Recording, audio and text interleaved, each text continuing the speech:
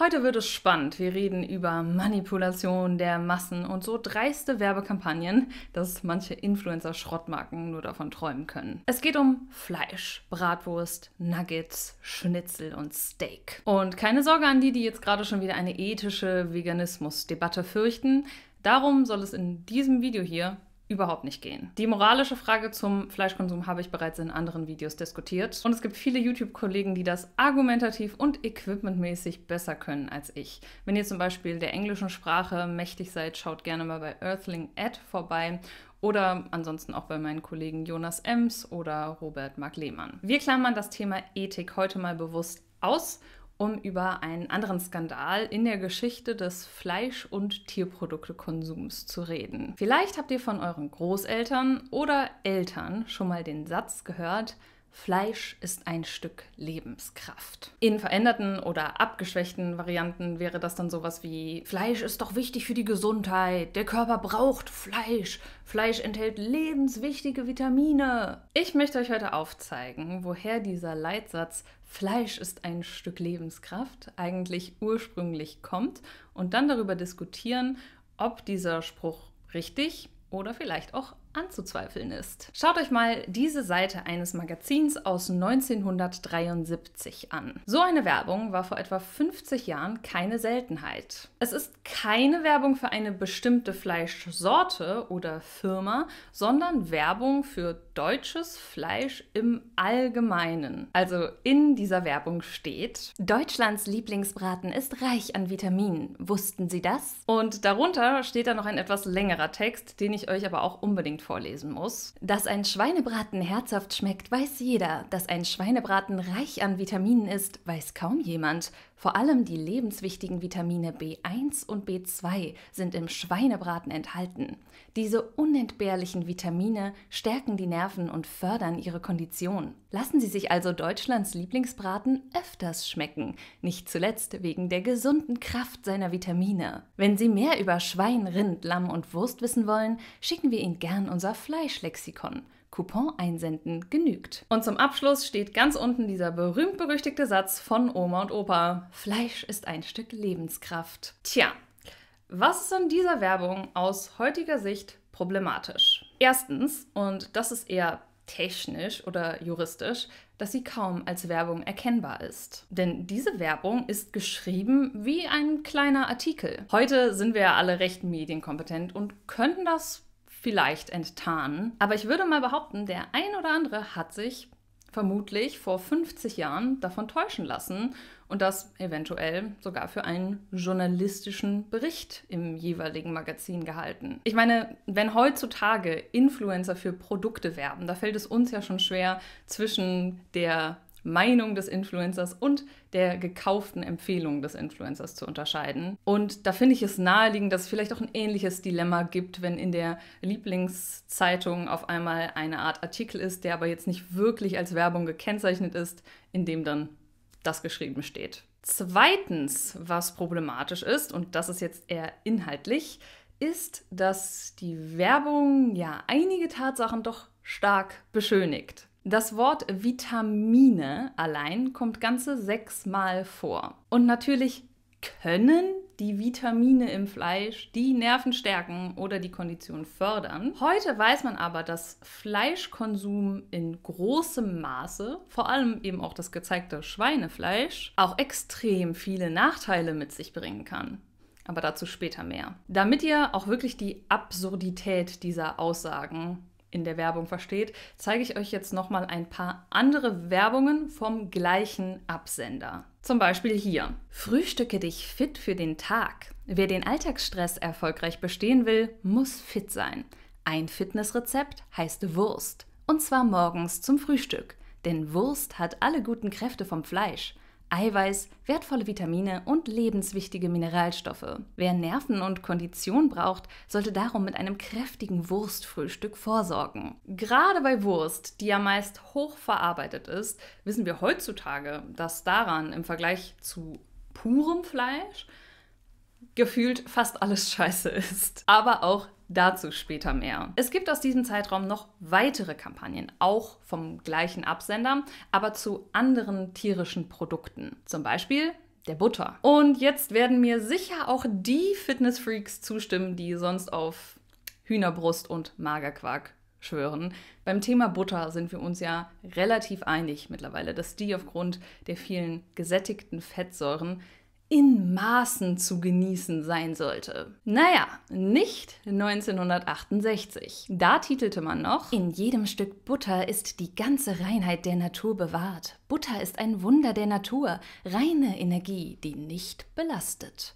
Zusammen mit dem Vorschlag, doch bitte Eidotter zusätzlich mit Butter zu verfeinern. Alles klar, da steht dem Herzinfarkt nichts mehr im Wege. Wobei, ich habe das wahrscheinlich einfach nur falsch verstanden. Denn Butter brauchen sie alle. Egal ob starker Mann oder schwache Hausfrau, fleißiger Mann oder faule Hausfrau.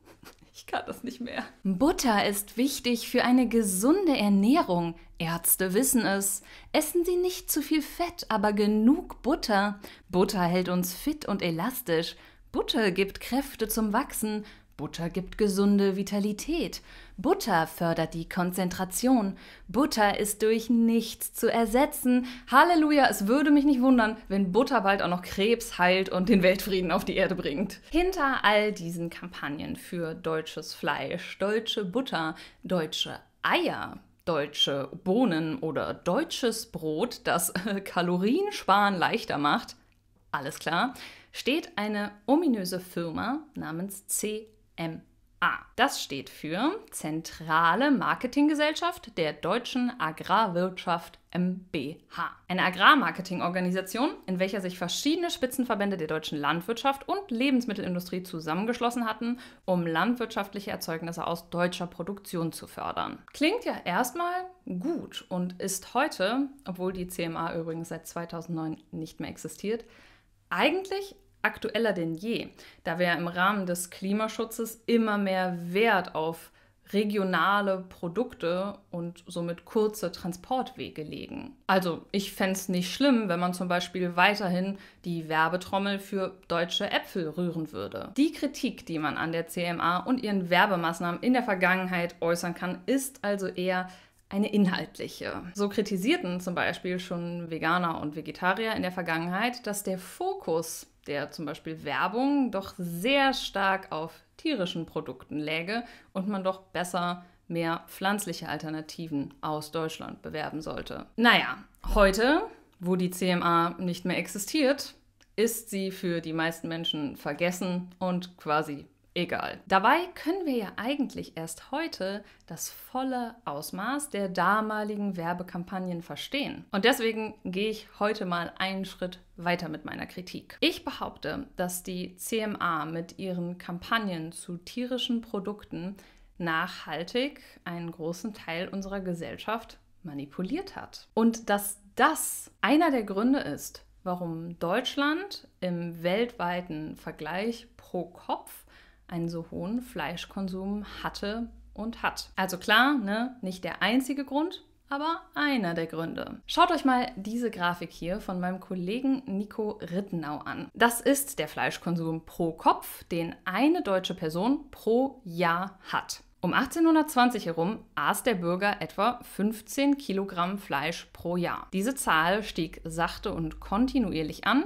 bis der Erste und der Zweite Weltkrieg kam. Nach dem Wirtschaftswunder der 50er und Anfang der 60er gab es dann einen fast exponentiell anmutenden Anstieg im Fleischkonsum der Deutschen. 1970 wurde die CMA gegründet und zwischen 1973 und 1975 wurde dann ordentlich die Werbetrommel gerührt für deutsches Fleisch und Wurstwaren. Ich sag nur Kennwort Fleisch, das kostenlose Lexikon für alle, die unvoreingenommene Informationen zum Thema Fleisch haben wollen. Aber auch später, 1987, titelte die CMA noch weiterhin gerne von Fleisch und seiner Lebenskraft. Klar, ne? Korrelation ist nicht Kausalität, das wissen wir mittlerweile und das werde ich in diesem Video hier auch nicht beweisen können. Dafür ist es zu lange her und dafür gibt es auch noch zu viele andere Faktoren, die diesen Fleischkonsum bestärkt haben, wie eben das Wirtschaftswachstum. Deshalb kümmern wir uns heute einfach nur mal um diesen berühmten Satz, Fleisch ist ein Stück Lebenskraft. Denn ich glaube, wenn wir den zerpflücken und im Kern verstehen, dann verstehen wir auch, wie sehr die Generation vor uns eventuell bezüglich ihres Fleischkonsums manipuliert wurden. Da wäre zunächst die Definition von Fleisch. Das kann ja bekanntlich vieles sein. Also die zarte, fettarme Hühnerbrust vom Biobauern nebenan oder die Wurst aus Schweinefleisch, Speck und Rind aus der schlechtesten Haltungsform, kombiniert mit Gewürzen und Nitritpökelsalz und vielleicht auch Zucker, zu dem man irgendwie in der Kühltheke greift. Laut CMA ist Fleisch eine Reihe von unterschiedlichen Fleischerzeugnissen. Hauptsache, das Produkt hat mal Fleisch gesehen. Egal ob Sauerbraten aus Rind, Schweinebraten oder hochverarbeitete Wurst. Zu späteren Zeitpunkten in der Werbung von der CMA übrigens auch diverses Grillgut, Salami oder Hühnchenschenkel. Das alles wird beworben unter dem Begriff Fleisch. Und dann haben wir jetzt noch die Definition von Lebenskraft. Wikipedia erklärt diesen Begriff wie folgt. Kraftfähigkeit zu leben, zu überleben, sich zu entwickeln, Kraft, die alles Lebendigem innewohnt, das Leben ausmacht. Und ab hier stelle ich einfach mal ein paar Fragen in den Raum. Was hat es mit Lebenskraft zu tun, wenn Fleisch auf so hochverarbeitete Art konsumiert wird wie in Wurst? Wir kennen ja jetzt das Werbeplakat der CMA für Wurst, das Fitnessrezept. naja, 2015 hat die Weltgesundheitsorganisation eine Analyse von über 800 Studien zum Thema Konsum von rotem und verarbeitetem Fleisch durchgeführt. Und letzteres kann laut den Wissenschaftlern mit großer Sicherheit Krebs auslösen. Daher wurde verarbeitetes Fleisch sogar von der WHO in die Gruppe 1 krebserregend eingeordnet. In der gleichen Gruppe finden sich auch das Rauchen, Alkohol, Asbest oder Röntgenstrahlung. Natürlich kann man dadurch alleine jetzt noch lange nicht sagen, oh, du isst so und so viel Wurst, dann bekommst du mit der und der Wahrscheinlichkeit Krebs. Aber man kann gesamtgesellschaftlich sagen, dass uns ein niedrigerer Konsum von diesem hochverarbeiteten Fleisch sicherlich gut tun würde. Machen wir weiter. Was hat es mit Lebenskraft zu tun, wenn Fleisch in solchen Massen konsumiert wird, wie wir es heute tun. In dieser CMA-Werbung aus 1975, die ich euch bis jetzt noch gar nicht gezeigt habe und die, by the way, auch wieder einfach nur aussieht wie ein Interviewartikel und nicht wie Werbung, heißt es, auf die im Fleisch enthaltenen Ernährungsbestandteile sollten wir nicht verzichten. Fleisch sollte also unser täglich Brot sein? Da geben Sie ein gutes Stichwort, wenn ich Sie wörtlich nehmen darf. Meist geben wir unserem Körper viel zu viele Kohlenhydratträger. Die sollten aber bei moderner, ausgewogener Ernährung nur etwa 50 Prozent unseres Kalorienbedarfs decken. Und weil Fleisch viel Eiweiß und Mineralstoffe enthält, sollte der Rest des Kalorienbedarfs hauptsächlich mit Fleisch gedeckt werden?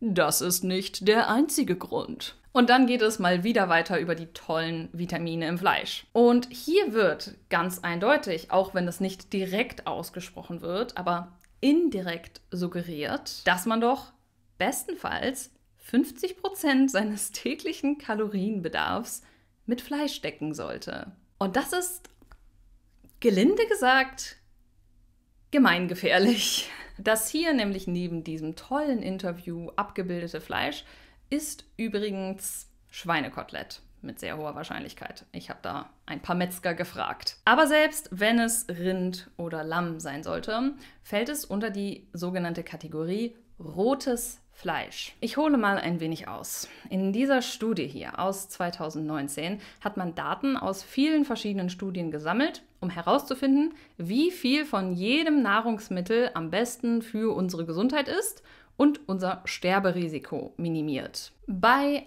einer Ernährungsweise mit hohem Konsum von rotem Fleisch belief sich diese Menge auf 23 Gramm, was also schon mal eher eine Obergrenze als eine optimale Menge darstellt. Und wenn ihr euch 23 Gramm jetzt irgendwie mal bildlich vorstellen wollt, denkt euch einfach so eine 100 Gramm Schokoladentafel und davon ein Viertel, etwas weniger als ein Viertel sogar.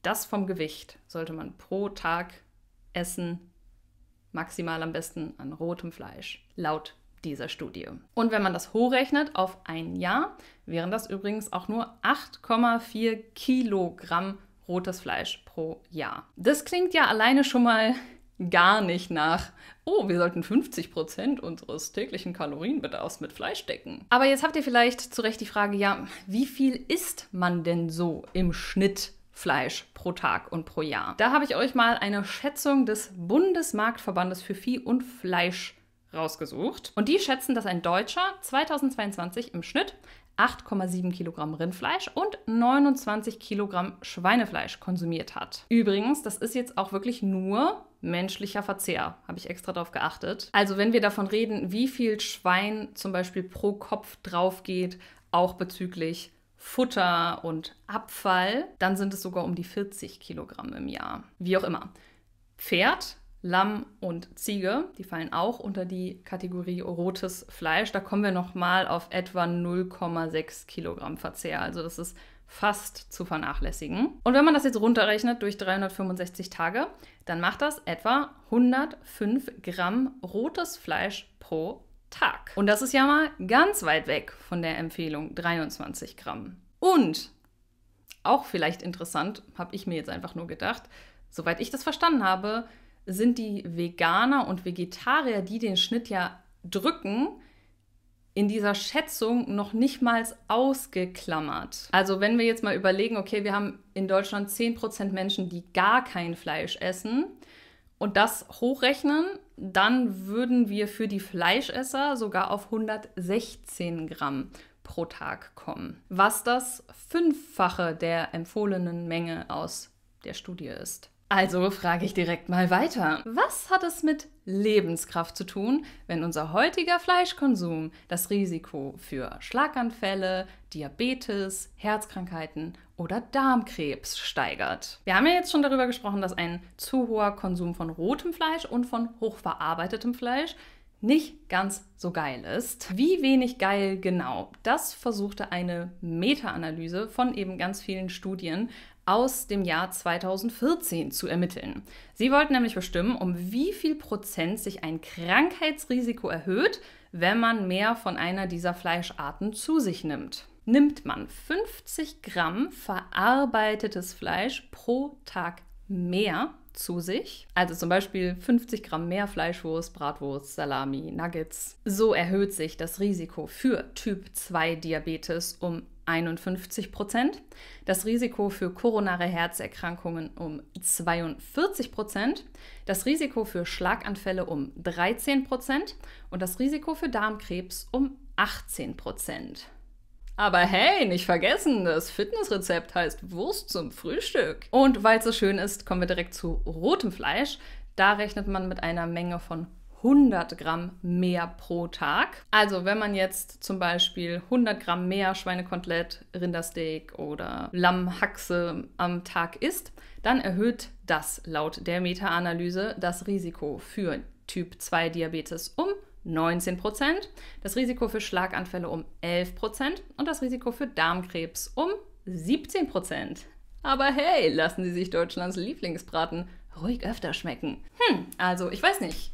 Für mich ist das eigentlich das Gegenteil von Lebenskraft.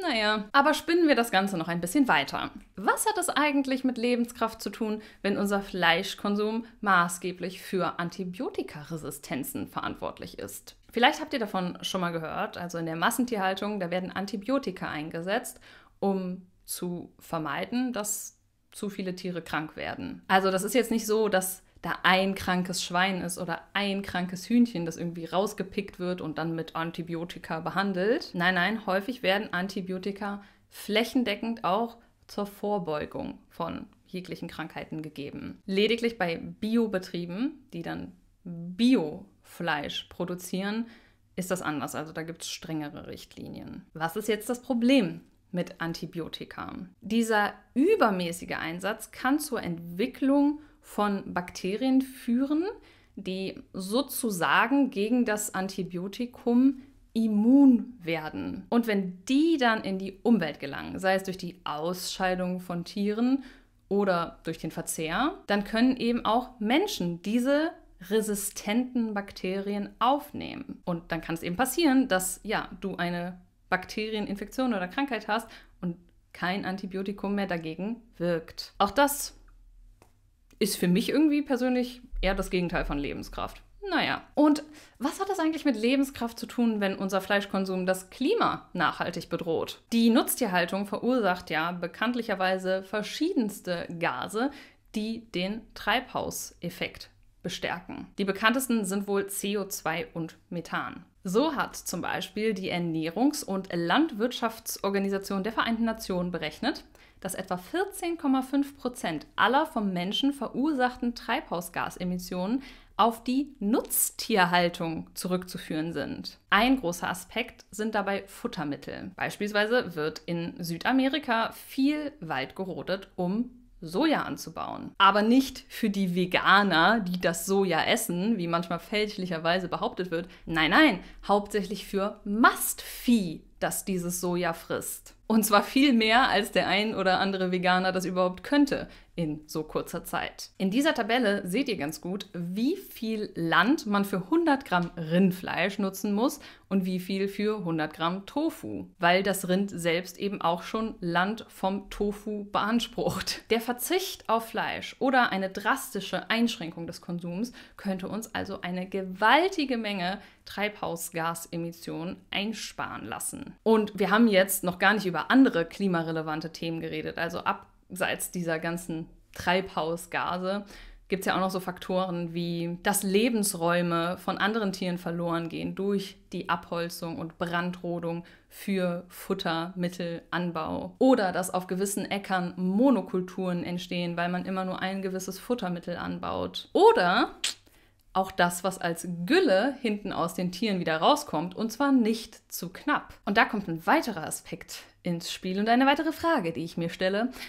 Was hat das eigentlich mit Lebenskraft zu tun, wenn unser Fleischkonsum, unser Grundwasser nachhaltig verseucht. Im Kot von Nutztieren findet man nämlich Nitrate, die bei der Ausscheidung auf, keine Ahnung, der Wiese von diesen Tieren, aber vor allem auch im Düngen, also im Dünger das ja oft mit Gülle gemacht wird, in den Boden und ins Grundwasser gelangen können. Und wer jetzt sagt, ja, was juckt mich statt Grundwasser, der hat vielleicht vergessen, dass in Deutschland knapp drei Viertel des Trinkwassers aus Grundwasser gewonnen werden. Und es gibt, könnt ihr euch mal anschauen, ganz interessant, ganze Karten, die anzeigen, wie hoch deutschlandweit so der Nitratwert des jeweiligen Grundwassers ist. Spoiler, rot bedeutet zu hoch höher als die europäischen Richtlinien. Und ich sehe viel Rot auf dieser Karte. Ja, was ist das Problem von Nitrat? Also wenn Nitrat im Körper zu Nitrit wird, das kann passieren, dann kann das vor allem für Säuglinge gefährlich werden, für erwachsene Menschen jetzt nicht so sehr. Da ist es dann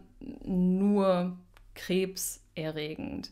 Aber ihr müsst jetzt keine riesengroße Panik bekommen. Also ihr könnt trotzdem noch Trinkwasser und Leitungswasser trinken. Also es wird kontrolliert in Deutschland, dass das Trinkwasser eben nicht zu hohe Nitratwerte hat. Deswegen keine Panik bekommen. Übrigens Leitungswasser sehr gut für die Umwelt. Viel besser als immer Flaschen zu nutzen und ranzuschleppen, Plastikflaschen. Das ist jetzt gar nicht unbedingt das Kernproblem, was es mit dem Trinkwasser und uns Menschen macht. Ein weiteres Problem ist auch eher, was es mit der Umwelt macht. Also Nitrat wird nicht umsonst eingesetzt, um Pflanzen zu düngen, dass Pflanzen schnell wachsen. Und wenn das ins Grundwasser gelangt, dann kann es eben auch zum Beispiel in Flüsse und in Meere gelangen und da dafür sorgen, dass Algen sehr schnell und exponentiell fast wachsen, nennt man dann Algenblüte. Und das wiederum verringert dann den Sauerstoffgehalt des Wassers und es ist eigentlich so eine Kettenreaktion und keine positive. Aber immer dran denken, Leute, Fleisch ist ein Stück Lebenskraft. Sammeln wir uns mal kurz. Was soll euch dieses Video eigentlich sagen? Zum einen, dass es für die Gesundheit des Planeten, aber auch für eure eigene Gesundheit von Vorteil wäre, insgesamt im Schnitt deutlich weniger Fleisch zu essen. Wenn ihr euch für komplett pflanzliche Ernährung interessiert, dann empfehle ich euch den eben schon mal erwähnten Kollegen Nico Rittenau.